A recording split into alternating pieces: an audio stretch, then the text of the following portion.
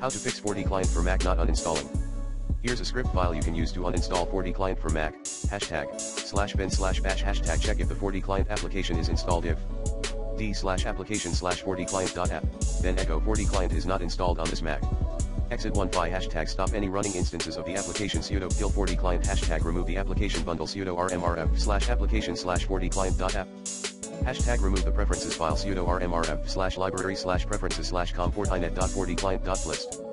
Hashtag remove the FortiClient folder from slash library slash application support slash sudo rmrf slash library slash application support slash fortinet slash hashtag remove the FortiClient folder from slash library slash application support slash rmrf slash library slash application backslash support slash fortinet slash echo FortiClient has been successfully uninstalled.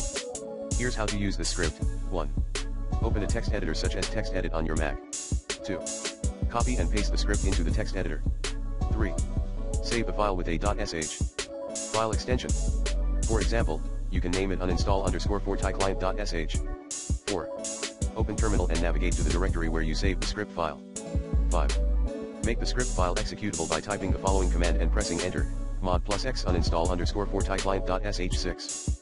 Run the script by typing the following command and pressing enter, slash uninstall underscore forticlient.sh enter your administrator password when prompted. The script will stop any running instances of the application, remove the application bundle, preferences file, and the application support folders, and display a message confirming that the uninstallation was successful. For starters, use the recommended CleanMyMac X in this video guide.